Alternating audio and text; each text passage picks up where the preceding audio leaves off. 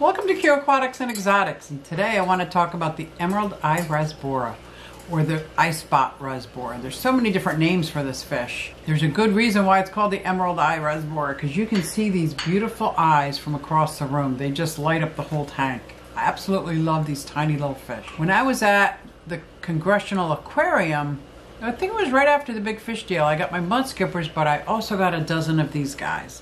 They just came out of quarantine and I put them in with my blue tetras. What a great combination these fish are. We're going to take a look at the tank and where these fish come from.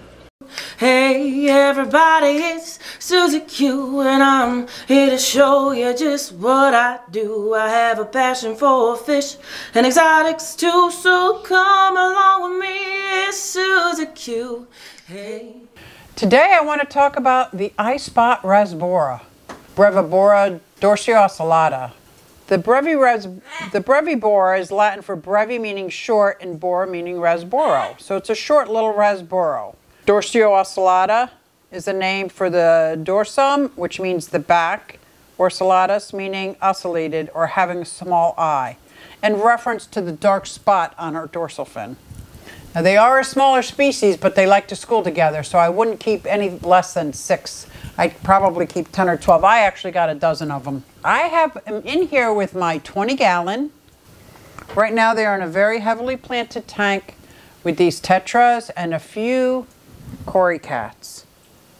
They have a couple cory cats on the bottom, a few snails, and my Cochu blue, my Cochu blue tetras. They maintain the top part of the aquarium where the, the tetras are in the middle of the aquarium and my cory catfish are on the bottom.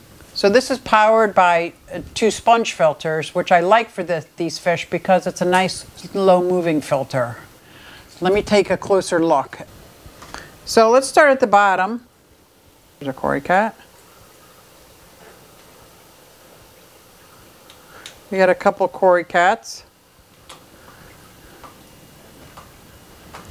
This is my Java moss. It's actually a sponge filter. Those are my blue tetras. Absolutely stunning. Oh, and you can see these green eyes. Oh, I can see these green eyes from across the room. And they're taking up the top part of the tank. Let's see if we can see them all here.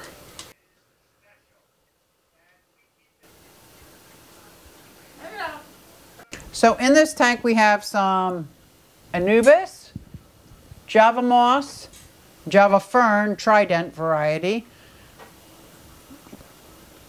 I'm going to get a plant identification on this. Uh, somebody just gave me the plant identification. And these sub this substrate's a whole mixture of all leftover substrates. I just like this tank because for one, it sits in my kitchen. These are a gorgeous tiny fish with beautiful green eyes. They glow in the dark. I can see these green eyes from across the room with a little black spot on top of the dorsal fin. I, I usually give them frozen bloodworms, daphnia, brine shrimp.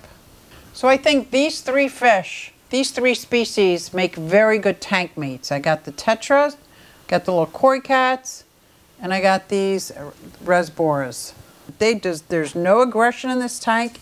It's a very beautiful, peaceful tank. The mature females are noticeably rounder than the larger males. I think because of the age of these, it's kind of hard to tell. I don't see any difference in these fish whatsoever yet. But I think as they get a little older, I will be able to see the difference. Like most of the rasboras, they're going to be egg scatterers with absolutely no parental care. So I am not going to be breeding these unless I put in maybe a spawning mop or maybe some floating plants that can be pulled out real easily. But I'm not so worried about breeding them. Right now, I'm just enjoying them.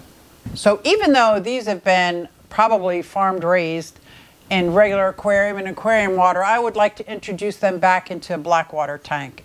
Now they're na native to southern Thailand and Sunda Islands, Borneo, and they are typically found in black water swamp.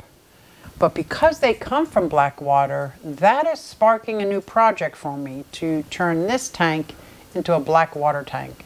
So if you're interested in seeing this tank turning into a black water tank, stay tuned because that video, I'll put it up in the link up there. So thanks for coming along and checking out my Emerald Eye Rasboras. Thanks, guys, and I'll see you next time. Hey, everybody, it's Susie Q. Hey, everybody, it's Susie Q. Nah, nah, hey, everybody, it's Susie Q. So come along with me. Said I'm Susie Q.